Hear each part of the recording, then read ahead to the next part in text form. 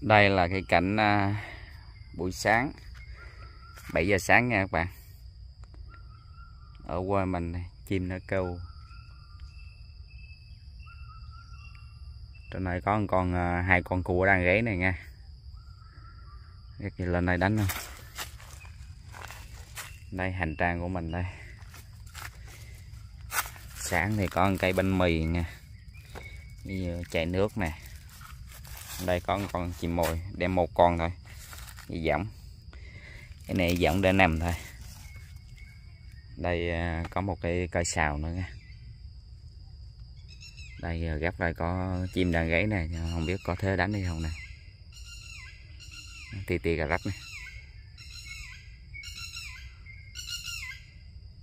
đó, đó, đó, đó, đó. thấy tao mà quẩn này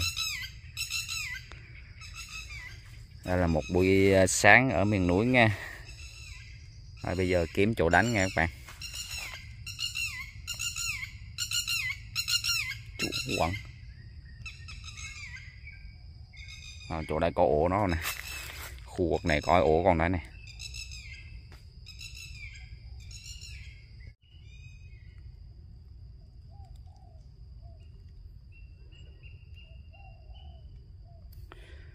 đây trong cái góc này à, bây giờ đã, đang có hai con nó đấu nhau trong này nè.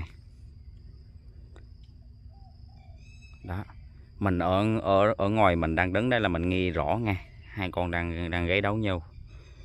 Một con thổ và một con đồng này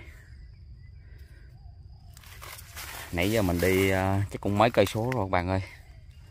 Ờ à, không không quên mấy trăm mét. Mấy trăm mét vô trong cái cái cái, cái đồi này. Chưa tới cây số bây giờ là mình à, vô sâu sâu trong đây một tí nữa nè. Có mấy con ở đang gãy nè. Mình quay cái hành trình mình đi chia sẻ đến các bạn. Ngày nào mình cũng đi hết nhưng mà mình ít có qua quay.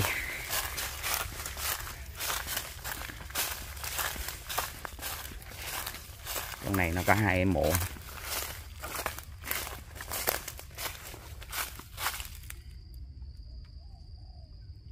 Bây giờ lại gần quá rồi nè, nó đang đứng gần đây nè. Đấy, nó đang gáy đấy. Bây giờ đánh ở cây đây này nha để thử nó về không nha. Cái này đánh đất ngon á, khu này đánh đất được nè. Nhưng mà hôm nay đánh cây không đánh đất không đánh đất nha. Này treo trên đây đi. Bánh kẹo nè rồi, thôi treo lên đã rồi ngay nãy mình là ngay má cái này. Mình treo xong mình chung vô trong cái đám này mình đắp mình ở này. Cái đám này bạn thấy đẹp không? Đây gọi là cây keo á. Bây giờ ông mồi nó mới gáy rồi hai con kia nó còn đang thúc mạnh rồi. Nhưng mình à, chung sâu sâu vô đây một tí. Treo dẫn mình nằm. Do cái, cái này là trống quá nha mà công nhận nhìn mát thiệt nha. Này đó hành trang của mình đấy này bây giờ mình treo giống ờ, uh, cây này. Qua cây này mình nằm rồi mình ngắm chim nó chơi. Nó có dính thì mình ra mình gỡ nha. Bây giờ mình treo giống lên đó.